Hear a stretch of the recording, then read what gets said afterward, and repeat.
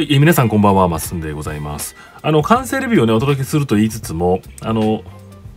まあ、見ていただいた方がと言ったらおこがましいんですけども、あの、ご紹介できるネタを一つ思い出しましたのでね、えーカメラを回しております。えー今日は、えこれですね、ルームミラー。ありましたかね、ピンと。はい。このくぼみのところを、銀色に塗りましょうという説明書の指示になってますけども、もちろん銀で塗ってもいいんですけども、ほとんどどっちみち見えないです。でただ、えっと、こうやってやったらですね、えミラー的にもその、まあ、実物に近づくというか、見え方的にちょっといい感じになるかなという方法がありますのでね、えその方法をご紹介していこうと思います。え当チャンネルではカーモデルの組み立てとか塗装、またダイソーさん、セリアさんでですで売っている模型に使えるグッズの紹介、そういった情報配信を行っているチャンネルでございますので、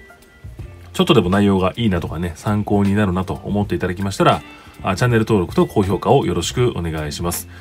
で、えっと、まあ、特にですね、カーモデルを始められて間もない方とか、始めようと思ってるけど何からしていいかわからないという方向けにですね、えっと、動画を配信しておりますので、あの、そういった方もですね、ぜひチャンネル登録をお願いいたします。で、えっと、今日の動画最後まで見ていただきましたらですね、えっと、ルームミラーの、そのミラー面をね、どういう風に作ったらいいかということがお分かりいただけるかと思いますので、ぜひ最後までご視聴よろしくお願いします。それでは、やっていきましょう。で、私使うのはね、これです。もう廃盤になってるみたいですけど、メタルック、モデラーズさん。これ、厨房ぐらいの時に買ったんだったかな。めっちゃ安いですね。453円で、えー、のり付き金属箔ってやつですねもうちょっと汚くてあれなんですけど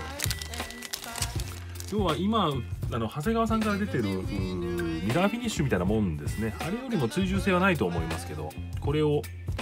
貼り付けていきます。でおおよその大きさにすでにカットしたものを用意してますのでこれをこのミラー面にベチャッと貼って縁をデザインナイフでねカットしていくという作業をしていきます。じゃあもうつべこべ言わずやっていきましょうか。あの前回のねバネのマスキングサスペンションのマスキングのところで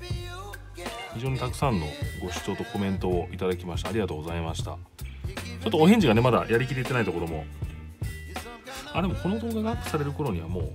終わってるかな。ま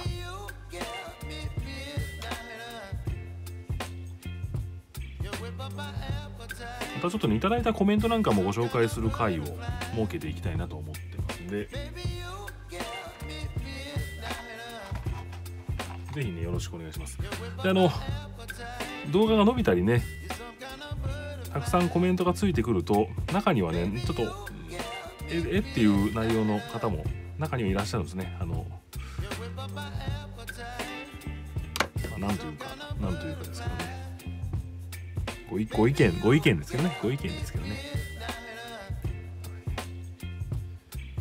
はい。で、えっと、今あそのメタルックをミラー面に貼り付けて、えー綿棒で密着をさせました。このくぼみのところにねしっかり今のメタルッ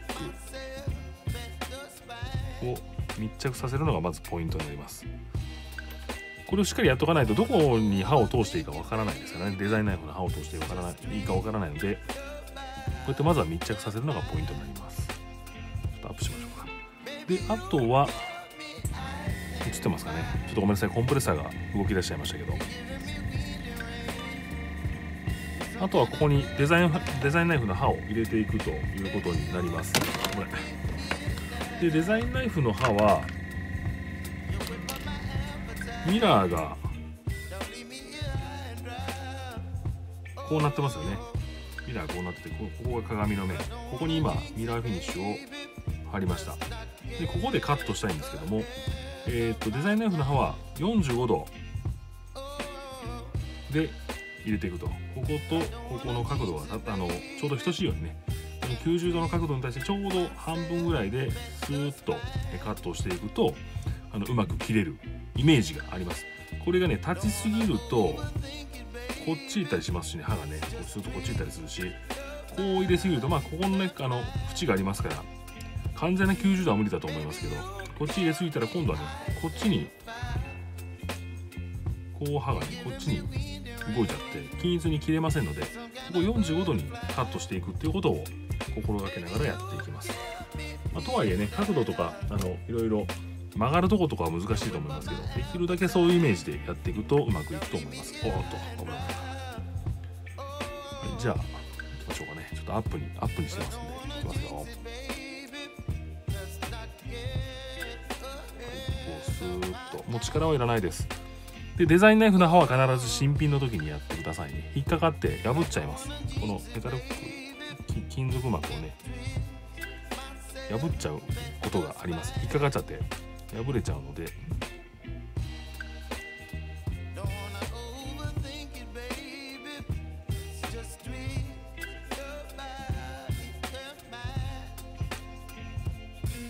よし。これで切れてると思いますので。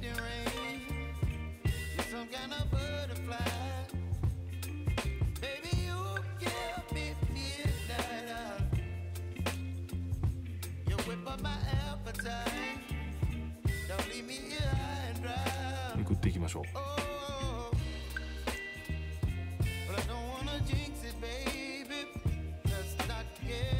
であのガッとめくっちゃうとですねあの切れてない切れてないところがもしあったら一緒にミラー面いるいる面もですね持ってっちゃうことがありますから特に角のところあの切れ残ってる可能性があるところについては慎重にそっと剥がしていくようにしましょう。はいでえっと今めくったところでねちょっと縁が浮いてることがありますのでもう一遍だけ綿棒でさっとなぞればはいこんな感じでミラー面やれますよということになります。で、えっと、長谷川さんのミラーフィニッシュ、結構高いです。このぐらいで1000円。指はがきよりちょっと大きいぐらいかな。縦長いぐらいで1000何円かすると思いますからね。ちょっと高いなという方は、これでもできなくないです。ダイソーさんに売られています。台所用のアルミテープ。これただね、ちょちょっとだけ分厚くて、えっと、糊もね、ごっついので、ちょっとカットはあのコツがいるというか慣れがいりますからね。ちょっとだけ難しいかもしれませんけど、まあちょっと雰囲気試してみたいなという方につきましては、あの、これでも十分私やったことありますし、分厚いですけどね、ちょっと分厚いけど全然できなくはないので、これを試されてみてはいかがでしょうか。あと7センチ ×3 メートルありますから、多分100年ぐらい持つと思います。これ1個あればね、あのミラーだけ貼っていけば。本当に毎回使うのはね、7ミリ ×3 ミリとかそのぐらいの面積面積しか使えませんので、あの100年以上持つんじゃないかな。テープの糊が先にダメになりそうですけど。こんなのもあの使うことができますので。よかったらねちょっと長谷川ミラーフィニッシュ買う勇気が私もあんまりちょっとなくてですね。あのメタルックが最後までなくなったら買おうかなと思ってるんですけど。ちょっとねなかなかもうちょっと頑張ればねキット買えるとかそういう価格帯になりますからちょっと勇気がいると思いますので。もしよろしかったらねさっきのアルミテープね台所のアルミテープでやられてみてください。はい。ということで、あの、あっという間でしたけどもね、今回の動画は以上とさせていただきます。ミラーフィニッシュ。ただいは、えー、メタルックね。私はメタルックを使ってますけど、はい、ミラーの製作の動画でございました。今回の動画は以上とさせさせていただきます。えー、チャンネル登録いただけてない方おられましたらチャンネル登録をよろしくお願いします。コメント、高評価もいただけますと今後の励みになりますので、えー、ぜひよろしくお願いします。で私が使ってます工具機材消耗品、え、動画の概要欄に Amazon のリンクを貼り付けてますので、え、気になる気になる方はそちらから検索とご購入をよろしくお願いします。で何か Amazon で買い物する際は当チャンネルのどこでも結構です。どの Amazon のリンクでもいいんですけどもそこから Amazon に入っていただきまして、え、その先で、えお買い物していただきましたらですねあの商品の値段変わらないんですけども宣伝広告代みたいなものが Amazon さんから入る仕組みになってますので、そういった形でもご協力をいただけると助かります。で得ました収益につきましては展示会の開催費用今上にねここにも出てると思いますけど展示会の開催費用とかですね、え新製品出たら開封レビューをお届けしてますけどもそのキットの購入費用とかそういうところに当てさせていただいておりますのでねどうぞよろしくお願いします。はい、で、えっと、その上に書いてある展示会につきましてはですね、えっと、YouTuber カーモデラーの大先輩であります、ジュンさんの模型さんをゲストにお招きをしたりとか、あとは静岡県で 3D プリンターの改造パーツ製造販売展開されておられます K オフィスさんですね。もう物販ブースでご参加をいただくとかあとはあの私とかメンバーさんの完成品が200数十台。それからあのお楽しみでねビンゴ大会みたいなものもあの開催しようかなと思ってますのとあとフリーマーケットということでね私のあのちょっと今はね売ってないようなキットで、えー、かつもうちょっと作らないかなっていうようなキットもたくさんありますので、ね、その辺りをフリーマーケットということで持っていこうかなと思ってます。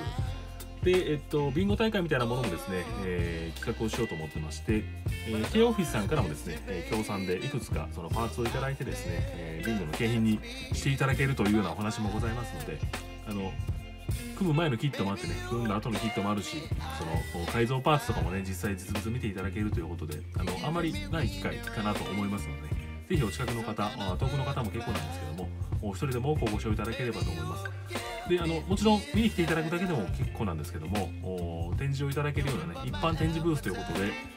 皆様が作られたキットを持ってきていただいて飾ってもらえるようなそんなあのスペースもご用意しようと思ってます。一般展示ということで車種問わず今まで組んだキットを並べていただけるスペースとそれから、えっと、ポルシェブースということで今回ねテーマポルシェでやってますのでポルシェの展示スペース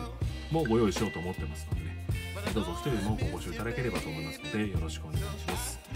はい、それではまた皆さん次の動画でお会いしましょう。さよなら。